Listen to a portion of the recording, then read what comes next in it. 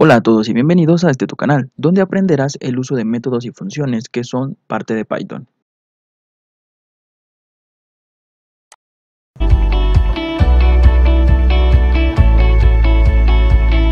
Hoy veremos el uso de métodos que cambian el formato para nuestras variables de tipo string o de tipo cadena, cómo concatenar distintas variables dentro de un solo mensaje, cómo hacer que nuestro mensaje se imprima en minúsculas, mayúsculas o incluso en forma de título, así como también funciones integradas interesantes, que nos permitirán hacer conversiones de string a entero, a flotante, booleano y viceversa, así como usar las funciones binarias y hexadecimales que ya son parte de Python.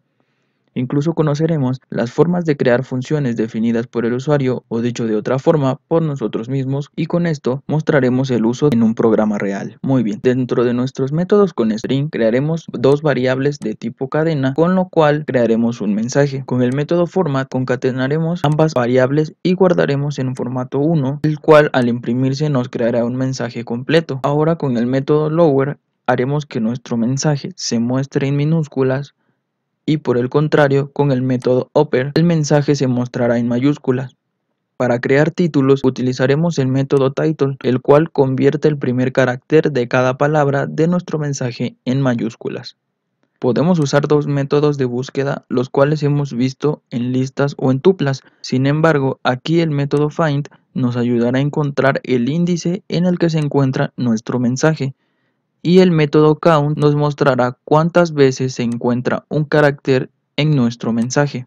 Para las funciones integradas en Python tenemos las conversiones básicas como pasar un valor de cadena a entero o numérico.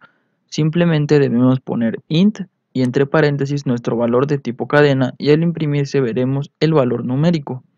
Para la conversión de tipo cadena a flotante se sigue el mismo procedimiento, solo que en lugar de int se colocará float. Para realizar el proceso contrario, solo colocaremos nuestro valor numérico ya sea en entero o flotante y usaremos la función str que se refiere a string o cadena y este leerá como variable de tipo cadena. Ahora utilizaremos funciones que si bien son integradas por parte de Python, este tipo de conversiones es a código binario o hexadecimal. Para hacer las conversiones de un número decimal o binario utilizaremos la función bin y para conversión hexadecimal se usará la función hex. Por el contrario, para realizar una conversión de hexadecimal o binario al sistema decimal usaremos la función int, que habíamos visto hace un momento, pero para simular la conversión de uno a otro se debe agregar la base en la que ésta se realiza. Para binario la base es 2 y para hexadecimal la base es 16. Al imprimirse podemos corroborar estas conversiones. También existe un tipo de función def el cual es un conjunto de líneas de código agrupadas que funcionan como unidad realizando una tarea específica. Estos tienen la capacidad de devolver valores, tener parámetros o argumentos y cuando son definidas dentro de las clases se pueden denominar métodos.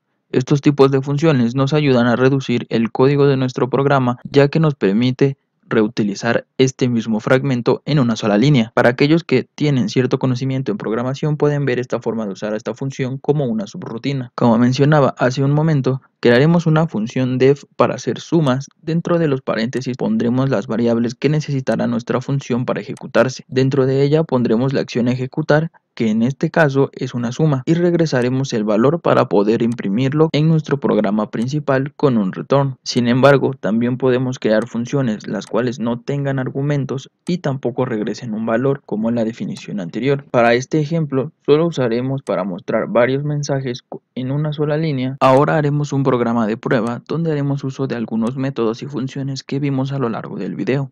Para este, por ejemplo, crearemos una calculadora básica que únicamente sume, reste, multiplique y divida. Para ello solicitaremos al usuario dos valores de tipo numérico, sin embargo el método input recibe los valores como tipo cadena.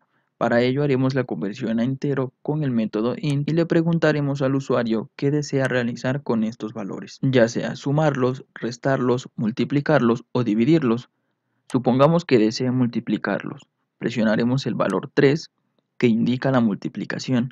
Y como pueden ver aquí están nuestras funciones def que realiza cada operación y nosotros en nuestro programa principal solo la llamamos con una sola línea. Y bueno chicos, eso es todo por hoy. Recuerden que si tienen alguna duda pueden hacérmela saber en la caja de comentarios. Síganos en nuestras redes sociales, las cuales están en la parte de la descripción del video.